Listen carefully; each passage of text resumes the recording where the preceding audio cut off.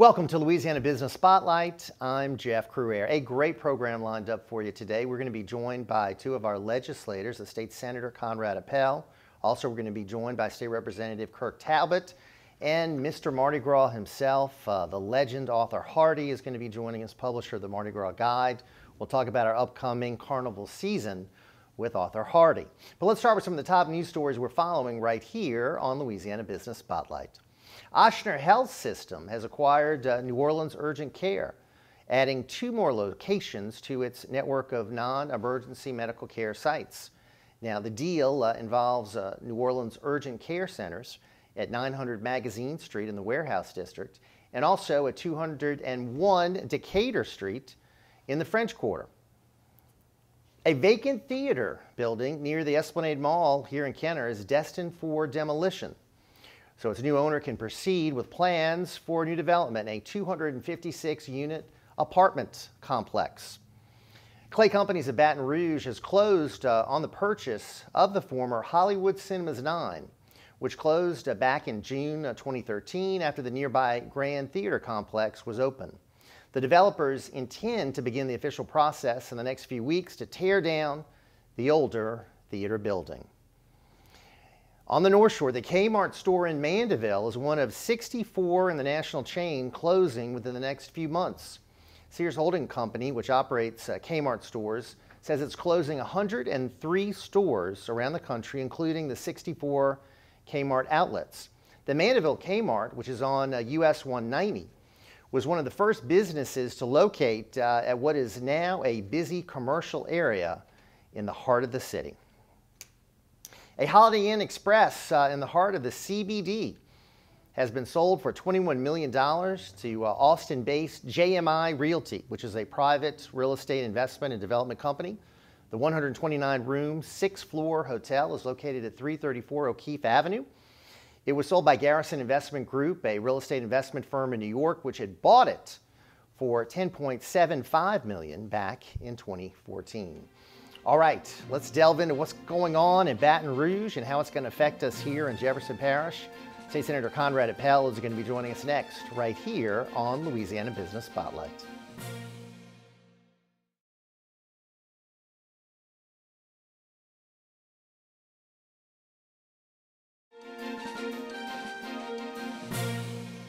Welcome back, ladies and gentlemen. There is a session coming up. We could have a special session. We'll definitely have a regular session.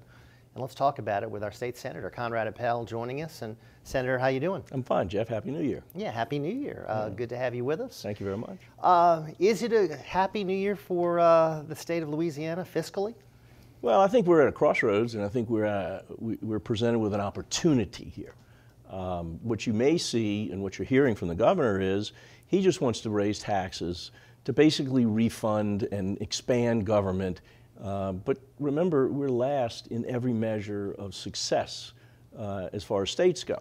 So you have to wonder if this isn't a great opportunity to reconstruct, to recreate Louisiana and get us moving in a different direction.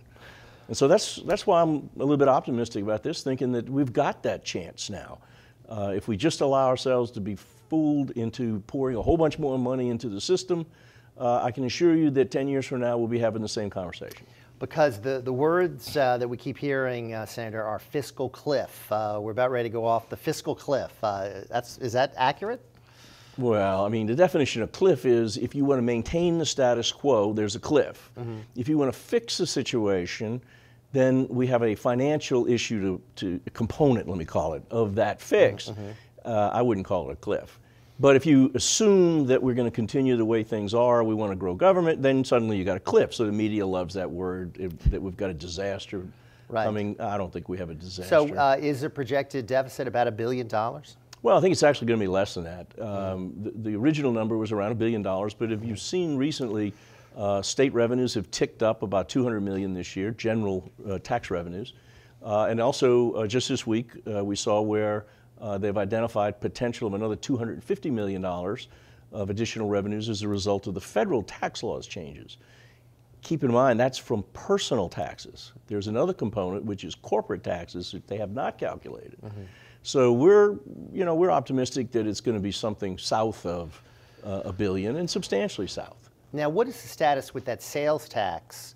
It's a temporary sales tax increase, right? Correct. Uh, and, and when does that uh, end? Uh, expires at the end of this fiscal year, I believe, uh, which is in June, the end of June or the beginning So, of June. uh, what's going to happen there, you think? Well, that's what's creating this this point of conflict, the cliff on one side or the opportunity from my perspective. And that is we've purposefully put in a time frame on that because we couldn't negotiate with this governor back uh, 2 years ago uh, to get any meaningful reform in the structure of government. So we said, okay, we'll just continue and we'll try to do something over the next 24 months, 27 months actually. Um, nothing, nothing's come of it uh, except constant pounding um, for more taxes, more taxes, more taxes. Um, it's time to recreate this state. We're dead last. How many times do we have Right. to hear that? And how many times we have to hear from a governor tell us, oh, just give us a lot more money so we can continue being dead last? Now, the, the sales tax, we're first in sales taxes, aren't we? We are highest in sales taxes. Right. Correct. So- but I'll tell you that I have had zero calls in my office complaining about sales tax. Really? None. And I have talked to countless legislators, and they have not had any calls about it either. I'm not supporting the highest sales tax Right. in the nation. Right. What I'm telling you is it, it isn't a giant problem apparently for the people. I haven't heard that. So you think it's easier for people to pay as they buy as opposed to getting socked maybe with uh, like high income taxes, high property taxes at one time? That would be my assumption. Mm-hmm. That's the reason I'm not getting any calls about it. Yeah, it's ju- but that's So is there a compromise available on the sales tax issue? Oh, absolutely. We don't have to pass uh, any sales tax extension. We don't have to. We could do a partial.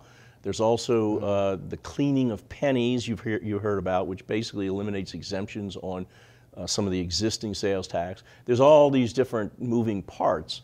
Uh, but the first thing you got to do is determine what you need to spend. Right. If you listen to the governor, it's give me money to spend. If you listen to us, it's let's decide what's a reasonable amount of money to spend, and then let's figure out how we Let's derive talk about money. spending because I saw a Sure. report that showed that per capita wise, we spend more on state government than other southern states. In some areas, yes, not all areas. Not all areas. Yeah, I can tell you in education, for one, for many years we were the highest or the second highest per capita in the South Mm-hmm. on per student uh, education spending. Some of the other areas we're not. So it's a mixed bag there as far as spending goes. Mixed bag, But if you were, um, you know, working with the governor and said, "Hey, uh, Senator, come on in, let's cut this budget," where, where would you start targeting? Well, for instance, I am not one in favor of the movie tax uh, uh, credits. That's was cost us 206 million dollars this year, every year. We've spent well over a billion dollars. Uh, we can't pay for our kids to go to college, but we're spending hundreds of millions to send money to California. I I don't think that's good. I don't think it produces long-term uh, effects. You can go down the list. Uh, a, a bill that I think you'll see this year, probably because I'm probably going to do it, is one on long-term managed care. We know from some studies that it would save between 100 and 200 million dollars a year the first year by allowing seniors to be able to stay in their own homes. But the nursing homes are a very powerful lobby, and you know, you know the result of that. We've, we've had problems trying to pass that. There's lists of these things. Uh, there's some short term, there's some long term. This is an opportunity Right. to start addressing them. How about uh, consolidation of higher education uh, boards, uh, Yes. other types of uh, uh, reform efforts? Uh, we seem to have a lot of universities here that are in close proximity to each other. Uh, I think other states you know, do it differently as far as uh, you know serving their population.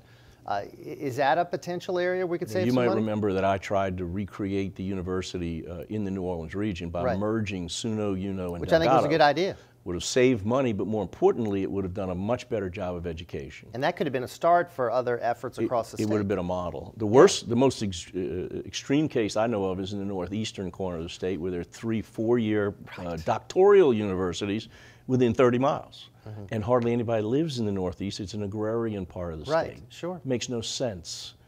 Uh, but it does make sense from a political perspective, and that's that's Mm-hmm. what we're talking about. So you ran into a, a political uh, freight train when you tried to do that, right?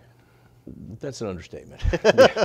But it was the right thing to do, and I think Right. today you would you would see um, a far better structure of education in the New Orleans region than you have uh, by having three separate universities. But you know, I, I couldn't pull it off. I tried. I got really close. Is that something that can be revisited at a later time? Um, it would be fruitless under this governor. There's Oh. no chance. It would be a waste of a waste of time. This, you got to remember, the governor we have today is uh, wants to to basically use the structure of government we have and expand on it. He doesn't want to talk about reform. He doesn't want to talk about, for instance, a perfect example is inventory tax. A few years ago, we- uh, the state of Louisiana was sending $450 million a year to local governments to reimburse them for inventory tax. Makes no sense he won't talk about it because it costs political capital. So, I mean, you can go down the list of these things that, that I mean, that Republicans have brought up Right. time and time again. And we've had Republicans vote against us, frankly. Um, It requires strong leadership at the top level in Louisiana. We don't have strong leadership that's committed to, as I say, recreating the state. We have leadership that's committed to keeping the status quo and just spending more money. And, and the status quo has really turned into a problem because I saw a recent statistic that showed that we are losing population in Louisiana. Yeah, under Jindal, we actually had a net gain Right. of population. wasn't great, but it was moving in the right direction. And Right. uh, since then, we've had about 30,000 um, uh, transplants leaving the state. And that's horrible because Yeah. uh, our southern neighbors, they're gaining in population. Well, that's right. The key to government, uh, you know, I like to describe this as the intersection between government and economics. And the key that nobody seems to grasp in this state is the impacts on people is truly coming from the economic side. It doesn't come from the government side. It's the fact that you can get a good job, you can build family wealth, you can do the things that you want to do we have this mindset that's just the most frustrating thing in the world that everybody turns to government. Government, government, government. Instead, we should be focusing on a growing, strong economy. Texas, Florida, the areas around Atlanta, you can go down the list. Many, many years ago, New Orleans was in direct competition with Atlanta and Houston for corporate jobs. We're not even in competition with Gulfport. Nothing. I drove by recently, uh, Senator uh, Canton, Mississippi, Yeah. and I was blown away. I mean, that plant there is amazing. I think they got a couple of plants up there now, and Yeah. then what that The does is Nissan it one I was breeds talking about, other. Uh, those plants feed on themselves, Mm-hmm. and you end up with uh, primary manufacturing.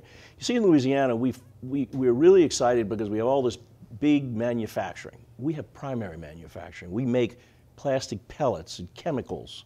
We don't get into the secondary part like they do in Canton, where they have a lot of employment, high-paid wages, Right. and we do the secondary part by creating the products. Is there any reason why we can't uh, compete for those types of uh, plants? I believe there is, and it's, it, it gets back to uh, a lot of philosophy. For instance, we have the worst civil justice structure in the United States, practically. We have a giant red line around us uh, because people don't want to move their corporate headquarters here or their manufacturing facilities because they know they're going to be sued constantly and they're going to lose, and their insurance rates are going to go through the roof and everything else. And you can, I mean, there's a list. When, when, a, when a company looks at a location to move to or grow in, they have a checklist education, workforce, uh, tort structure, we just talked about, uh, transportation safety, links, right? public safety, uh, quality of life. It's a list. It's not a very long list. The problem is we don't. We're not able to check off the pluses in those on those lists. We're all on the minus side. So those plants go somewhere else. And so what do we have to do? We have to pour hundreds of millions of dollars into financial incentives to overcome our shortfalls on those uh, checklists Key of- criteria. Of, criteria. Uh, it's not a good situation. Well, we only have about 30 seconds left. Uh, so, are we going to be looking at um, a very eventful session? Sounds like there's a lot to do. I think yes, it's going to be extraordinarily. First of all, it's a regular session, so we're going to have thousands of bills, most of which are meaningless, frankly. Right. Uh, but then we're going to have this issue of the budget, which will start uh, in uh, the House Appropriations Committee, and then will finally work its way uh, toward the Senate. So I, yeah, it's going to be a, a very long, drawn-out uh, session, And maybe a gonna be special session. Oh, I think we'll have a special session. There's no doubt about it. Whether we we do as the governor wants and puts it in before the regular session, which I, I am not in favor of, Right. or we do it after we've had a chance to try to modify government a little bit, and then do a special session. Either way, we're going to have a special session. Well, let me just say good luck. Thank you. And uh, we'll be following closely. Thank you, Senator. Well, I sure appreciate it. Thanks so All much. right, appreciate it very much. A lot more Louisiana Business Spotlight coming your way. We'll be right back.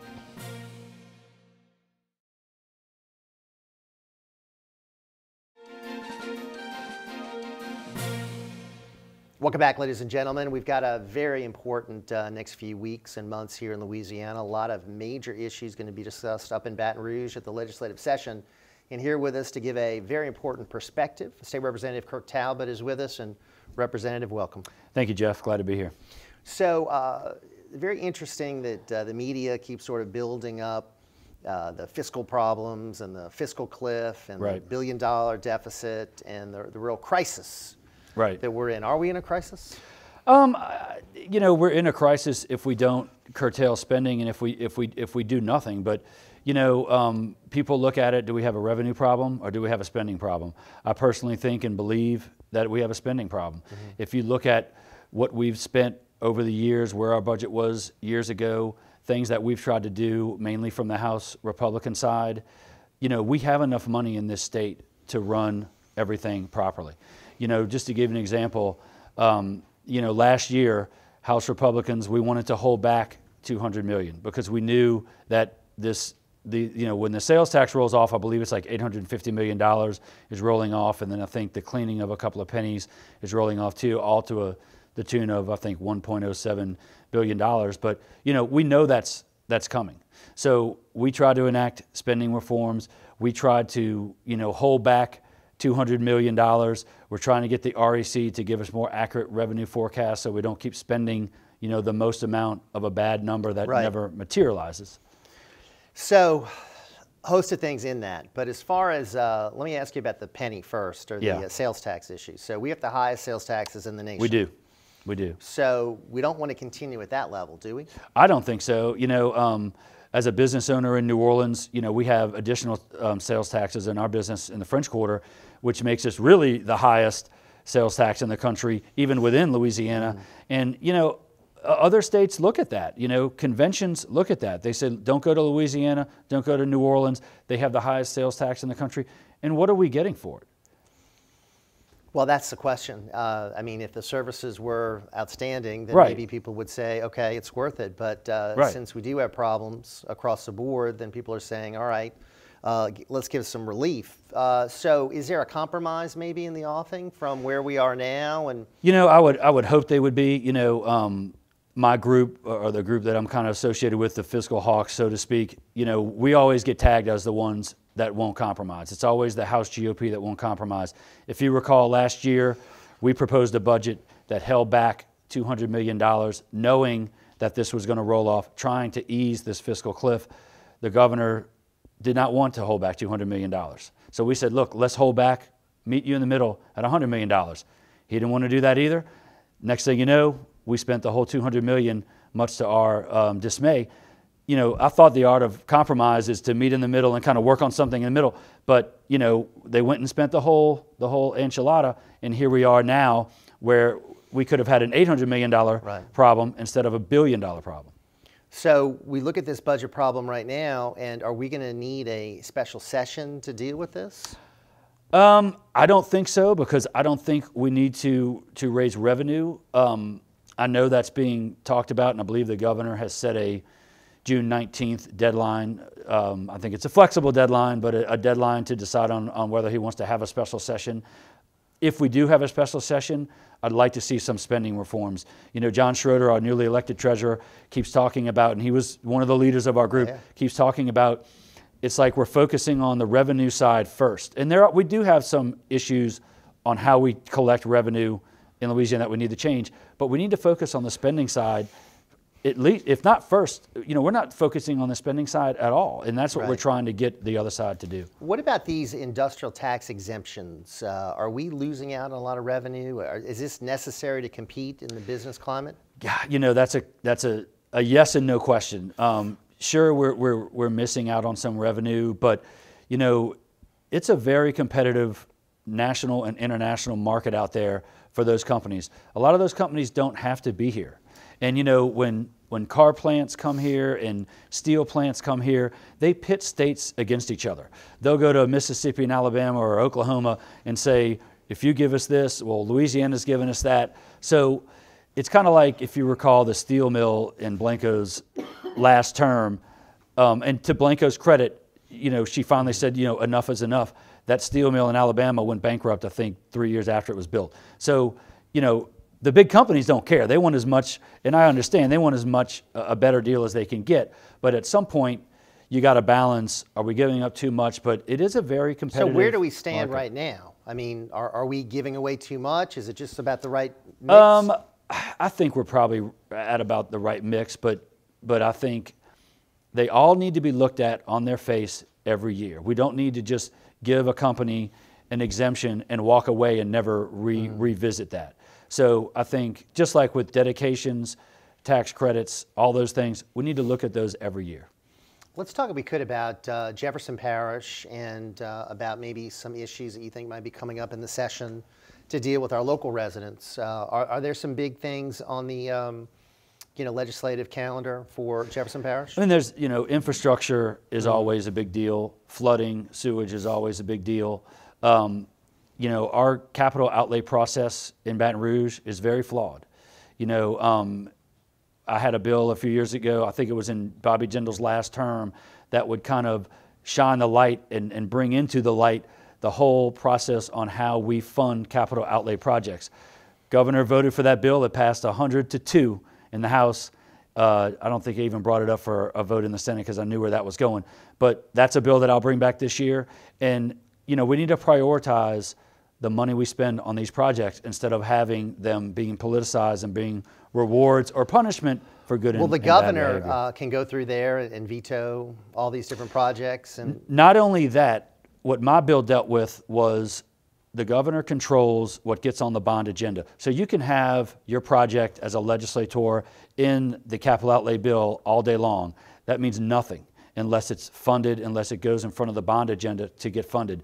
The governor controls that agenda. So you could get it in the bill, but if you never go in front of the bond commission, it'll never get funded. We're a state uh, representative where the governor's got a lot of power, doesn't he?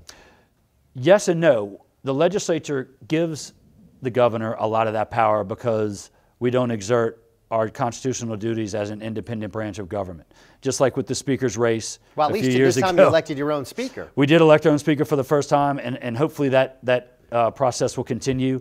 But again, um, you know, yes, with the veto power, you know, he, the line item veto in the budget, which I don't uh, disagree with. I do believe the governor should have line item veto. But when you have that control, especially over capital outlay, that is the currency of power in Baton Rouge.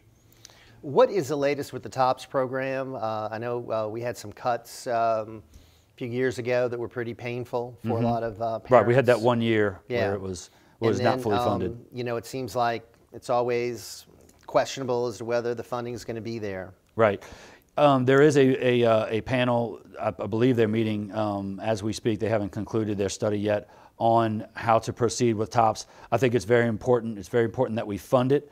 But, you know, the process is, is financially unstable. So we need to do something, either raise the GPA or do it as a, as a loan or maybe a payback if you fail out. Because the problem is you have a lot of students go, they have a great time, they fail out, and they walk away and they pay nothing. Or we have a lot of students that take advantage of it, and then they go work. Right, they go work in Georgia or Houston or yeah, Texas. So we've just educated the workforce of our neighboring states. That's correct. That's so correct. I would like to see, and I've got two children at LSU. I would like to see uh, the requirements increased. Uh, I mean, right. I, would, I, would, like them to have to strive for I like, better grades. I like that angle more than means based because I don't think you should punish kids because their parents you know, are um, can afford college or well-to-do. Right. If they earn it and they get a scholarship on their own, then they should get that scholarship. Right. But you know, we cannot be all things to all people.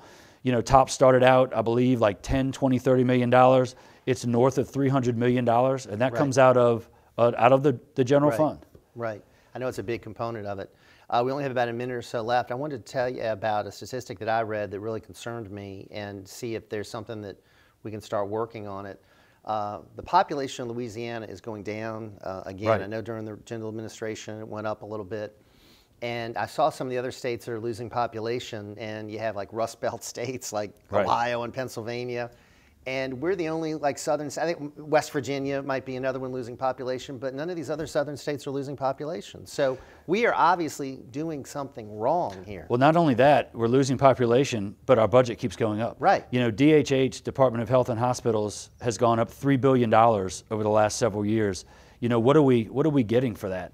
You know, um, it's all about jobs, Jeff. We need to create a business climate in this state where businesses want to come and give us good jobs. Frankly, I don't see the governor really focusing on that, but you know, that's what we need. We can't give away the store, but we have to create a climate where people want to come here with with high paying jobs and want to live here. You know, we have crime issues in New Orleans. We have Right. um, and at Baton Rouge. and in Baton Rouge, you know, um, we, we, we just passed this so-called crime reform package, which I was against most of that. And, and that is a, a scary thing where, you know, we're letting violent criminals out of jail. Uh, and that's my final question here. We want to bring our incarceration rate down, but uh, some of the people that have been released have already gone back That's right. into committing Two, crimes. two in Kenner, and you know we have the highest incarceration rate, incarceration rate because we have the highest crime rate. Right. Why do we have the highest crime rate? Because we have a terrible education system. Um, So it all it all kind of intertwines. But you know, when we're in Baton Rouge, we're trying to pass teacher tenure. We're trying to get vouchers. We're trying to get kids out of these failing public schools into private schools that have a 90 or 100 percent graduation rate. You know, it's frustrating when the people that are complaining about the crime are voting against our reform measures in Baton Rouge. Right. And I guess there'll be some more reform measures introduced this session. Yes, I'm sure they will. I'm With they that, will. we've just run out of time. Thank you, Representative. Thank you, Jeff. Thanks Appreciate for it very having much. me. We'll be following very, very closely. All right, when we come back, we'll talk to the Mardi Gras man himself uh, and talk about the upcoming celebration. Arthur Hardy is going to be joining us right here on Louisiana Business Spotlight.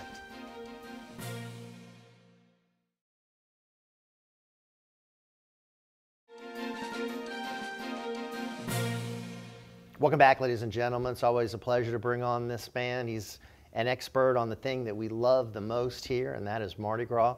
The publisher of the Mardi Gras Guide, uh, just your, your resource you're going to need for this carnival season. Arthur Hardy is with us, and Arthur, welcome.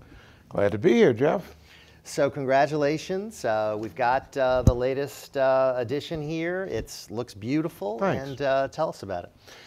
Well, it's our 46, 46, 42nd anniversary edition, and we're going to keep trying till we get it right. a lot of stuff in it. Big year for anniversaries, and we will cover uh, both Bacchus and Tucks have their 50th anniversary, Orpheus their 25th. So we've got a lot of coverage on that, and take a look at when Louis Armstrong was king. So we try to have some features, old stuff, new stuff, and most of all, what's happening this year. And there's a lot happening this year. Yeah, and I certainly want to uh, talk about that. But uh, the guide, which I certainly want to encourage everybody to pick up a copy. So where can folks get a copy of this? Really, any place that sells magazines. You Uh-huh. know, grocery stores, uh, convenience stores, drugstores, bookstores, the few that we have left, uh, and of course online on our website, MardiGrasGuide.com. We ship orders every day. But uh, the magazine's selling well, and with an early season, you know, the- everything's compressed Yeah. into a, a shorter period of time. So there's a lot of excitement already. You know, I um, was at the post office the other day and saw a lot of people there, and I'm thinking, wow, you know, one of the reasons probably people already mailing out king cakes. No doubt about it. Mm-hmm. Yeah, and, and hey, uh, bakers like Haydel's and all the others hate an early Mardi Gras season because it's fewer days to, to Right. make. If you can make 500 cakes a day, and you've got a 30-day season, that's not as swell as a 60-day season. And this is early, February 13th. It, it can be as early as February 3rd or as late as March 9th. So this is to the early part. 2019 is going to be March 5th, so we go from early to late. Right. Well, of course, uh, it all kicks off on King's Day, Right. uh, where you have uh, uh, some celebrations around. The uh, Joan of Arc parade uh, is always fun down in the French Quarter. Yes, indeed. And Phunny Phorty Phellows, and there's a new streetcar group uh, called the Not So Secret Society of Elysian Fields, I think. a lot of, lot of good things going on. And each year it, it's become, 12 nights become a bigger thing. Right. And then the, the uh, preseason parades start towards the end of January, and the, the official 12 day parade season s- starts Friday, Mm-hmm. Well, February let's talk a little bit about the preseason parades. What Yeah. are we seeing there? Well, you know, the irreverent uh, crew of Drew, uh, crew of Drew, crew of Vu, Vieux Carre, uh, and followed by the crew of Delusion. Uh, those are adult-oriented parades that are a whole lot of fun, and I, I enjoy the heck out of them. But I would certainly leave the kids home if you had them. Krewe du Vieux is just a uh, an amazing group uh, made up of little sub krewes, and they parade in the French Quarter and the Marigny. It's not to be missed, but it's not for the faint of heart. right. Very satirical. Yes, yes. And of course, we've got Little Rascals in, in Metairie and some parades in Slidell. So, uh, but the official legal parade season always begins 12 days before Fat Tuesday. All right, so let's talk about that. So, um, uh, tell us what we're going to be seeing this year with the uh, official season. Any newcomers? Not really. Metairie has regained the krewe of uh, Pandora, which paraded one year, took last year off, and they're back. And, and let's talk about Metairie for a second. There's, there's some neat things. Of course, Family Gras that first weekend, uh, and that's always exciting. Second weekend now, we're going to have a triple header on Sunday. We've never had that before. The krewe of Athena that used to parade on Friday night, the first Friday, jumped to the Sunday, the final Sunday of the season. Napoleon's always that day, and now Pandora's coming back, but not on Monday night, Lundi Gras, but the night before. So we're going to have three parades back to back in Metairie, and that's a reason to come out and see them. You know, three Right. together is a pretty power, powerful lineup, really. Uh, the route is pretty much the same. It is the same, except Excalibur's not going to do Bonnabel this year. Uh, the krewes have been talking for years about whether or not there are enough people there to justify riding, and uh, Excalibur felt that it's not on that first night. Uh, the other parades will still do the Bonnabel Loop. Right. And uh, of course, we've we've seen over the years sort of uh, a dip in the popularity of the Jefferson Parish Yes, we have. Yeah. Do you think uh, things might start moving the other direction? I hope so. The krewes are trying, the parish is trying. Uh, let's face it, Veterans Highway is not St. Charles Avenue. Right. And so many people have had the opportunity to jump ship and go to downtown New Orleans. Uh, so that's hurt quite a bit. Uh, I always lobby for a, a parade, a night parade on Metairie Road, but I don't think that's going to happen. I think that would create a lot of interest. But uh, they're trying real hard, and, and I, again, I think this triple header on the second Sunday is going to be big. Now, what about any other suburban areas? You also have pockets of parades, and, and there's a few in, on the North Shore. Yes. Slidell's got quite a number, doesn't it? Yes, and Slidell, uh, the very popular a new parade of Poseidon. This is the third year. They've become a night parade, and they're just blowing it out the water. You know, they've got about 500 members, 610 stompers are in it. Uh, it's it's really a fine parade. They started big, and they've gotten bigger and better. And we've got a couple in in uh, in Mandeville and Covington. So there's parades on the North Shore, and some people never make it to New Orleans or Metairie. They stay over there.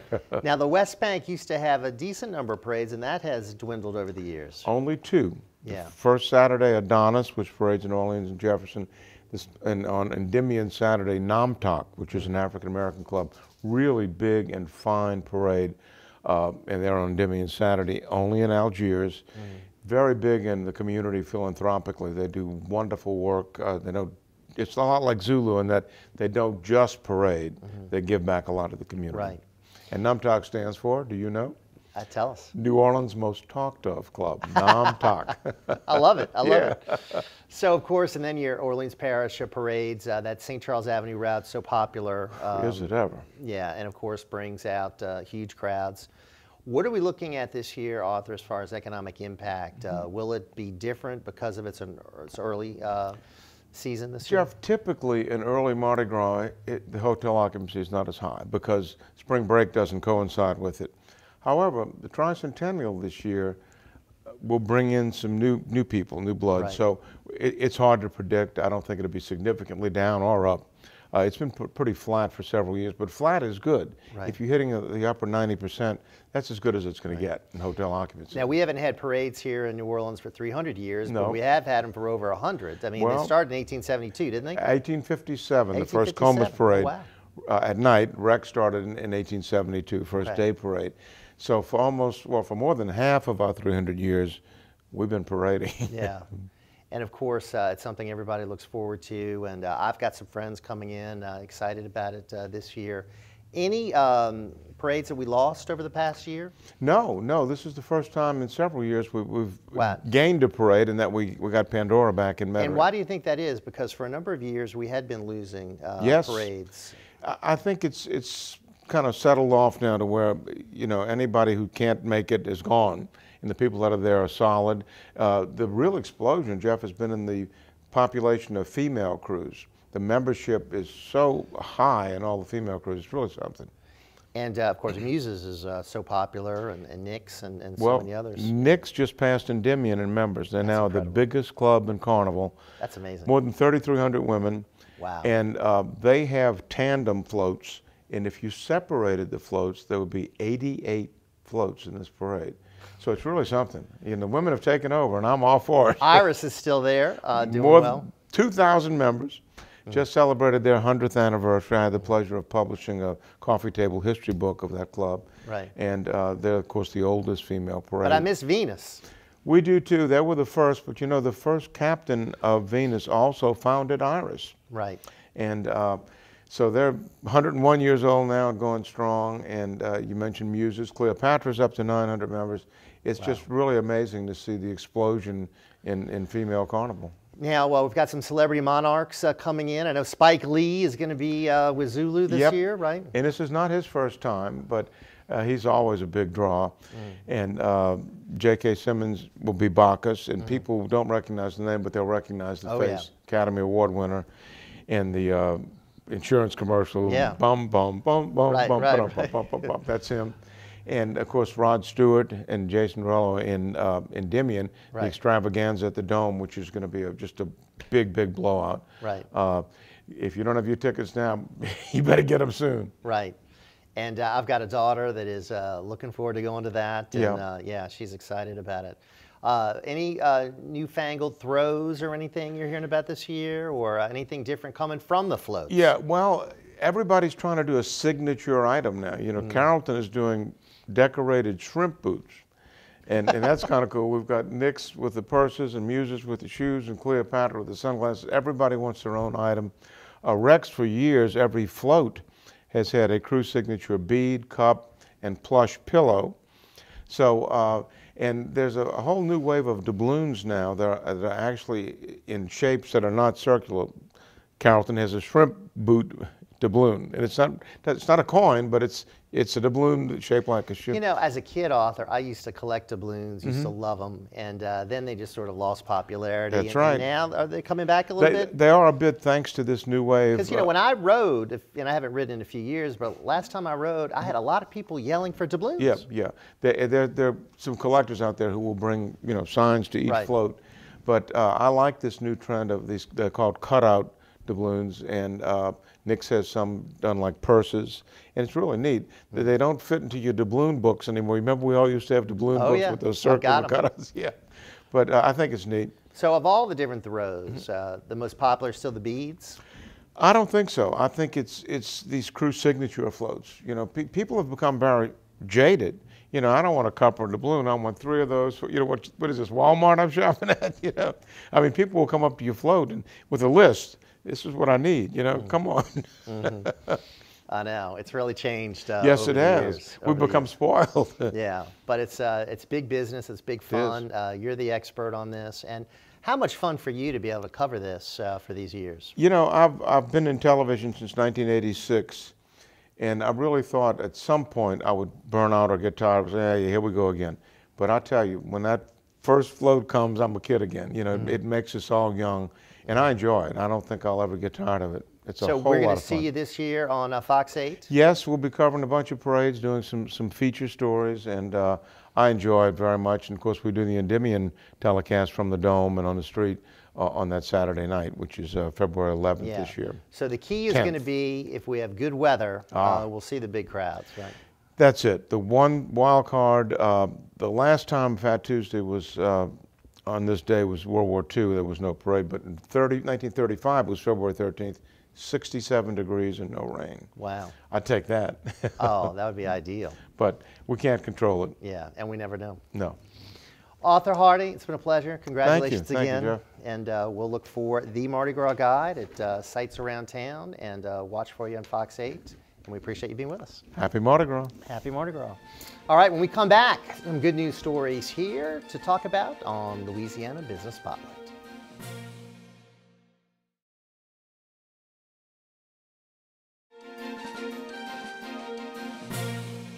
Welcome back, ladies and gentlemen. Now let's focus on some good news stories in our local business world. Entergy Louisiana is starting work on a second phase of a $69 million infrastructure upgrade to electricity to transmission lines on the West Bank. It's aimed at improving power distribution from Bayou Segnette to Harvey. Now, the project, which is expected to be complete uh, in June, will include some road closures and some planned power outages, according to Entergy officials. The former Macy's building in Kenner Esplanade Mall has been purchased by the new owner of the uh, shopping center. Pacific Retail bought the 2,078,000 square foot building in mid-December for $1.8 million. Pacific Retail has owned the mall since 2016. The store has been vacant since the spring when Macy's shut down 68 locations across the U.S., and hopefully now there will be some redevelopment at that site. And U.S. crude oil production is flirting with record highs as we start the new year, thanks to technological nimbleness of shale oil drillers who have unleashed this crude bonanza. Now, U.S. oil production has averaged about 9.6 million barrels per day in 2017. The highest U.S. production ever, based on monthly government data, is right about 10 million per day, which dates back to the 70s. Production hit uh, 9.58 million barrels per day in May of 2015. Then prices started to drop because of the oil glut. Now, the resilience of the U.S. oil producers has come as the price of crude rose above $60 per barrel on world markets. And that should be good for Louisiana's economy. Okay, if you have any ideas or comments about topics or potential guests, please contact me at jcrouere at gmail.com. Thanks so much for joining us. I'm Jeff Crouere, and I'll see you next time for another edition of Louisiana Business Spotlight.